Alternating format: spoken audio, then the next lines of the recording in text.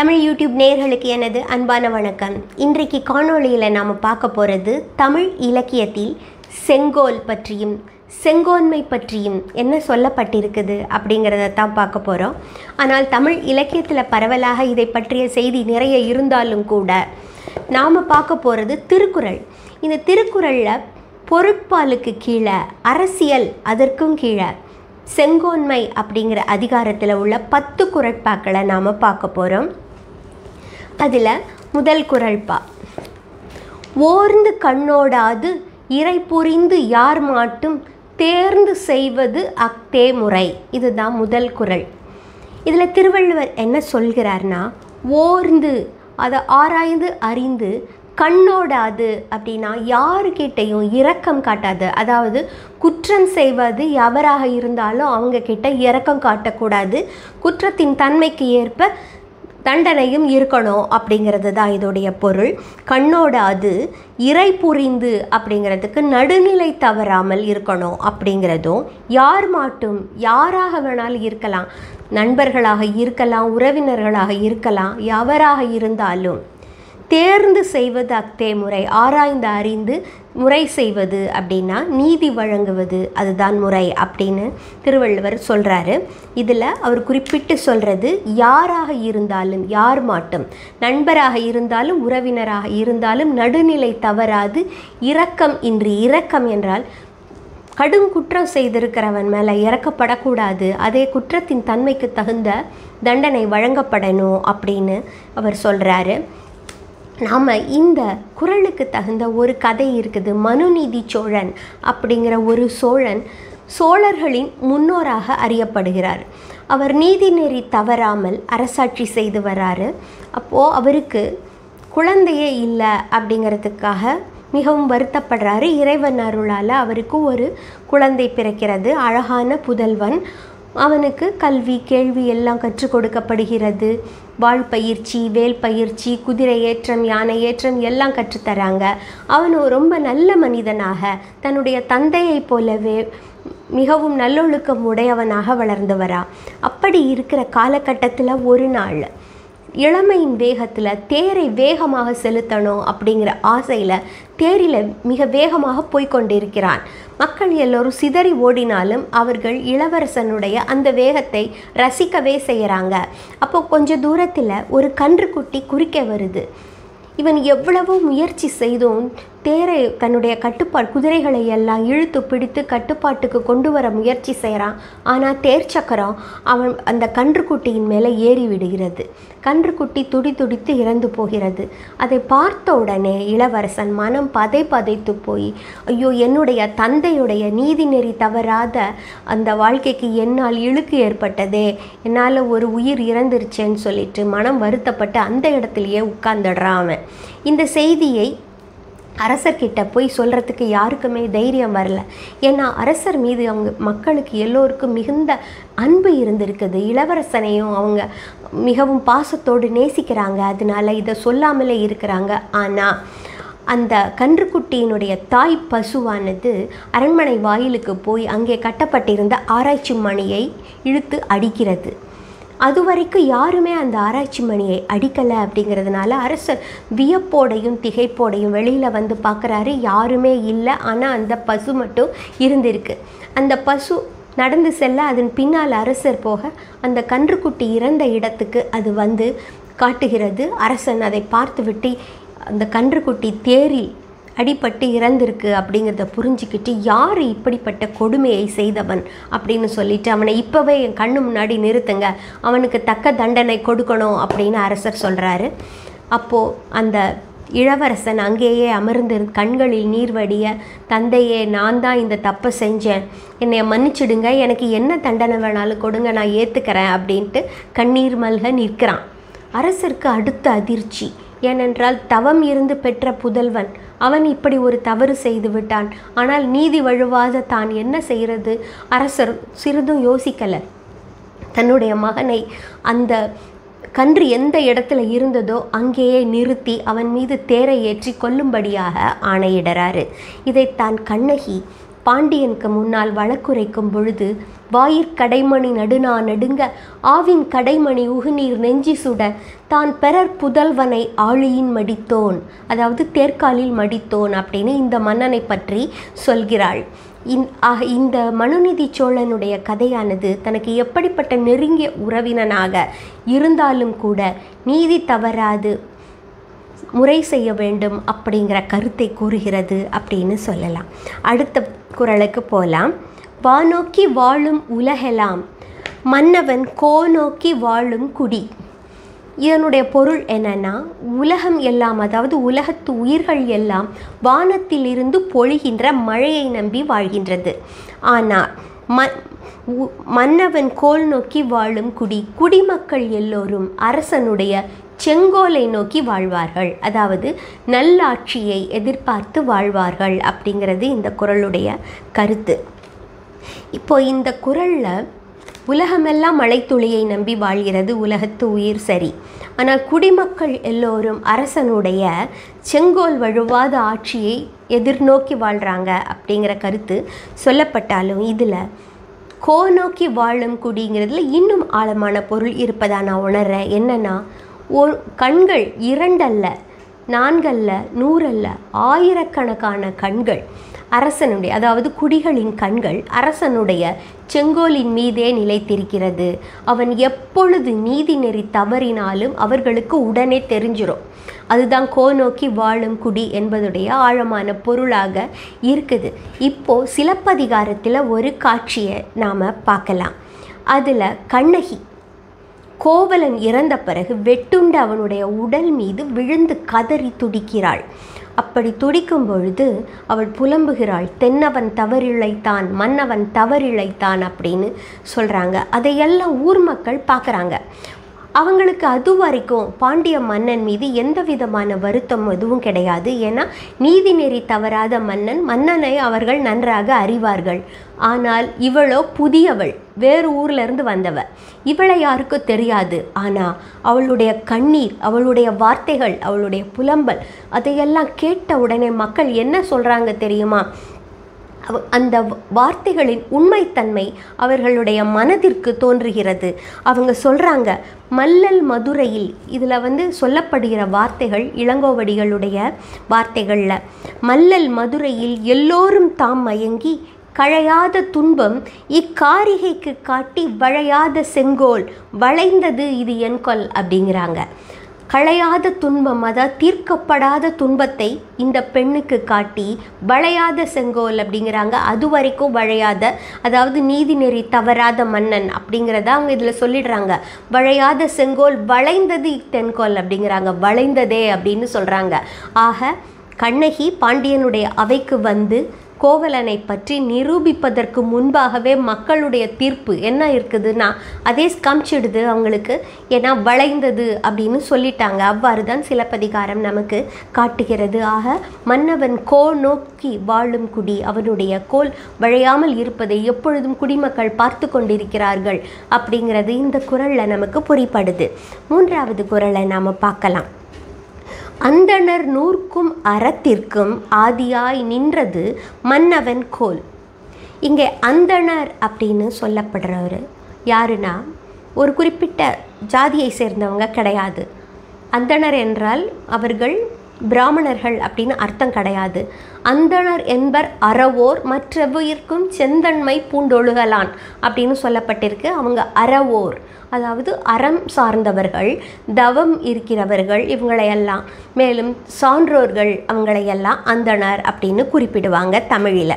அப்படி அந்த சான்றோர்கள் தமிழ் சான்றோர்களோ அறவோர்களும் தவம் இருக்கின்றவர்களும் அவர்களுடைய நூல்கள் அவர்கள் எழுதுகின்ற நூல்களுக்கு அதற்கும் அறத்துக்கும் ஆதியாய் நின்றது அப்படின்னா அதற்கும் முதலாக நிற்பது எதுனா மன்னவனுடைய கோல் செங்கோல் தானா? ஏன்னா எல்லாவற்றுக்கும் முதலாக அதாவது அறத்துக்கு காவலாக நிற்பதும் அந்த செங்கோல் அப்படிங்கிறது தான் இந்த குறளுடைய பொருள்.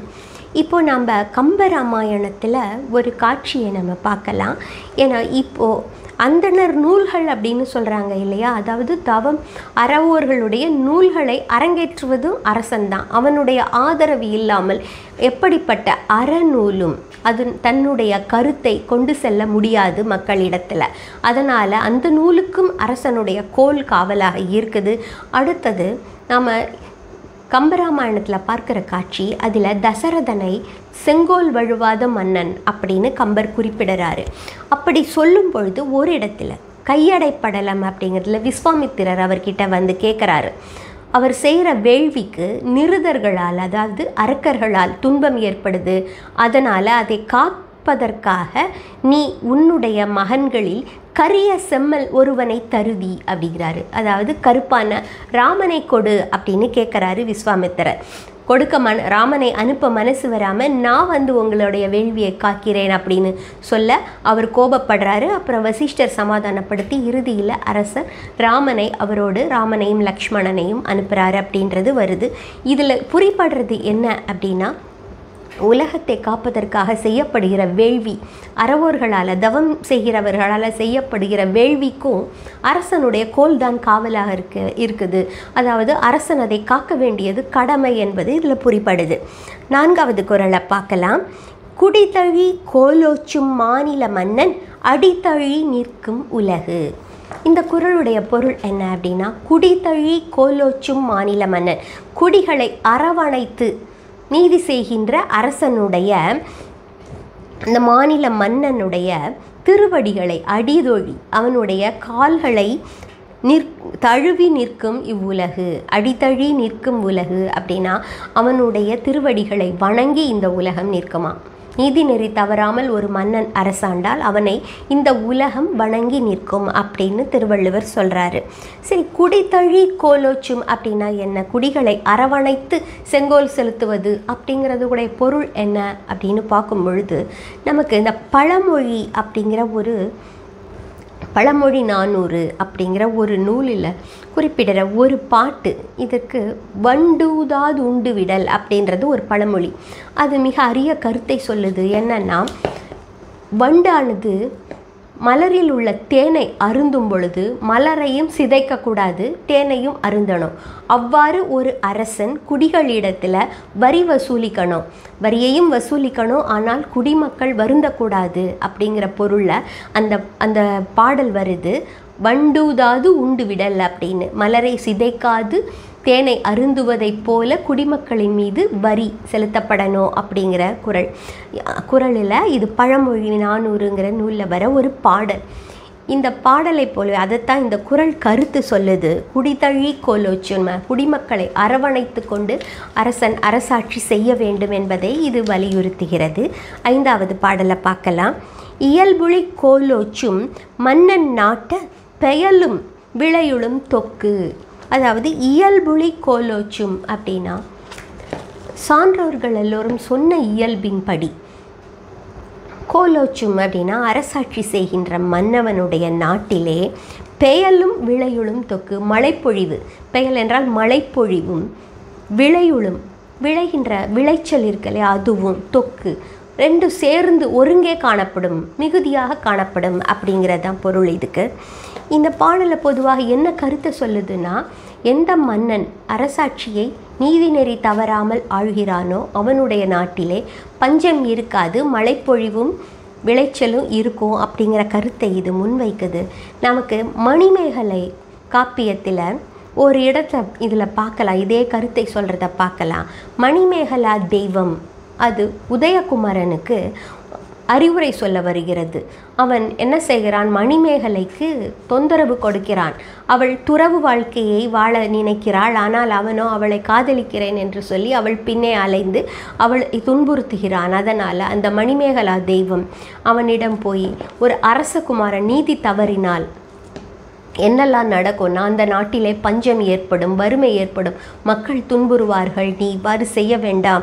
நீ மணிமேகலையின் மீது கொண்ட எண்ணத்தை விட்டுவிடு மோகத்தை விட்டுவிடு அப்படின்னு சொல்லி அந்த மணிமேகலா தெய்வம் அவனுக்கு அறிவுறுத்துகிறது. ஆக மழைப்பொழிவும் நல்ல விளைச்சலும் ஒரு நல்ல மன்னனுடைய நாட்டிலே இருக்கும் அப்படின்னு இந்த குறள் சொல்கிறது. நாம் ஆறாவது குறளை பார்க்கலாம். வேலன்று வெற்றி தருவது மன்னவன் கோலதும் கோடாதெனின். அதாவது இந்த பாட்டுடைய பொருள் என்னன்னா ஒருவனுக்கு அதாவது ஒரு அரசனுக்கு வெற்றி தருவது என்ன அப்படின்னா வேல் இல்லை. வேல் அன்று அப்படின்னு நீங்கள் சொல்கிற இடத்துல என்னன்னா எந்த ஆயுதமும் கிடையாது வெற்றி தர்றதுக்கு. அதாவது அவனுடைய வாளோ வேலோ மேலும் வில்லோ வி எதுவுமே கிடையாது. அப்போ எதுதான் வெற்றி தரும் அப்படின்னா கோலதும் கோடாதெனின் அவனுடைய செங்கோல். வளையாமல் இருந்தால் அதுதான் அவனுக்கு வெற்றி தரும் அப்படின்னு சொல்லப்படுது. அதாவது நல்லாட்சியே அவனுக்கு வெற்றி தரும். அதனால் மக்களுடைய ஆதரவு இருக்கும் அப்படிங்கிறது தான் இந்த பாடலுடைய பொருள். ஏழாவது பாட்டை பார்க்கலாம்.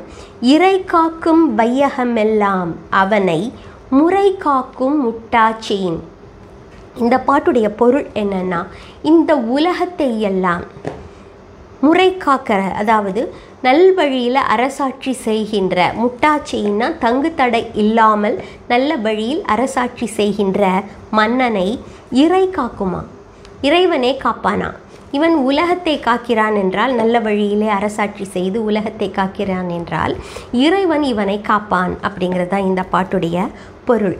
நம்ம எட்டாவது பாடலுக்கு போகலாம். எண் பதத்தான் ஓரான் இறை செய்யா மன்னவன் தன் பதத்தால் தானே கெடும். அதான் குறள் என் பதத்தான் அப்படின்னா இங்கே என்ன பொருள் அப்படின்னா காட்சிக்கு எளியவனாக செவ்வியனாக அதாவது மக்கள் வந்து ஒரு துன்பம் வரும் பொழுது அரசனை பார்க்கவே முடியாது அப்படின்னு இருக்கக்கூடாது. அவர்களுக்கு எப்பொழுது வேண்டுமானாலும் காட்சி தரக்கூடியவனாக எளியவனாக அது இ- அவன் இருக்கணும். அதனால தான் ஆராய்ச்சி மணி கட்டி வைச்சாங்க அப்படின்னு சொல்கிறது அந்த எண்பதத்தான் ஓரான் அவ் அவ்வாறு காட்சிக்கு எளியவனாக இருந்து இறை செய்யாத மன்னவன் மக்களுக்கு இறை செய்யாத மன்னவன் தீர்ப்பு வழங்காத ஒரு மன்னவன் இருந்தால் தன்பதத்தான் தானே கெடும். அவன் தாழ்ச்சியுற்று தானே அழிந்து விடுவானான் காட்சி கேளியவனாய் மக்களுக்கு தோன்றி அவர்களுக்கு முறை செய்ய வேண்டும் ஒரு அரசன். இல்லைன்னா அவன் தாழ்ச்சி அடைந்து அவனை கெட்டு போவான் அப்படிங்கிறது தான் இந்த பாடலுடைய பொருள். இது சங்க இலக்கியத்தில் இது இந்த பாட்டுக்கு ஏற்ற மாதிரி ஒரு அரசன் நன்னன் அப்படின்னு பேர். அந்த நன்னன்கிற பேரில் பல அரசர்கள் இருந்திருக்கிறாங்க. ஆனால் இந்த நன்னன் வந்து தனி. இவன் இவனை மாதிரி ஒரே ஒருத்தன் தான் இவன் கொடுங்கோலனாக இருந்திருக்கிறான். எப் அவனுடைய கதையை நான் சொல்கிறேன் எப்படின்னா இந்த நன்னன் ஒரு காவல் மரத்தை வச்சுருந்தான். மாமரம்.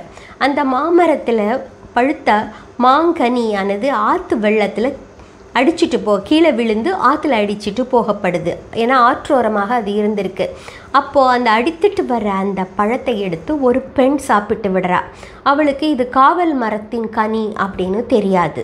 பொதுவாக காவல் மரத்தின் பழத்தை பிறர் உண்ணக்கூடாது. அதற்கு மரண தண்டனை உண்டு அப்படிங்கிறது உண்டு தான் உன்னை இந்த பெண் அறியாமல் செய்து விட்டாள். அவள் கோசர்குடியில் தலைவனுடைய மகள்.